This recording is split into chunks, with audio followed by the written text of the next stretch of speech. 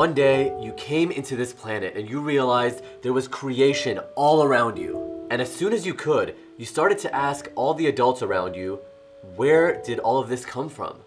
Most likely they said, God. But where is God? Some people will point up to the sky. Others will point within and say, God is here. The truth is, we don't know anything. When was the last time you turned all of your attention inward? Watched yourself with your eyes closed. According to a survey in 2013, 65% of Americans believe that we only use 10% of our brain. If that's true, we're only experiencing 10% of what it is to be human. We're so busy trying to attain things or become something that we don't take the time to look within.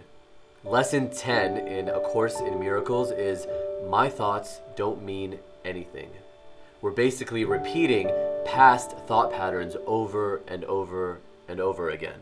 In reality, your mind is blank, but it appears to be thinking. But are these thoughts actually yours? The lesson goes like this You search your mind for thoughts, and as each one arises, you say, My thoughts about blank do not mean anything.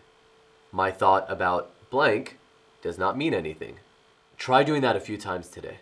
There are in the world today two challenging voices ego and spirit. Ego declares it knows everything, while spirit acknowledges that it knows nothing.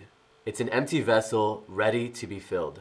I hope this video was helpful for you. Make sure to subscribe because there's a new video every Monday. Please show your love by liking this video and check out the description below for a link to my Instagram where you can connect with me directly and a link to my website where you can get a free copy of my book, The Enlightened Barista.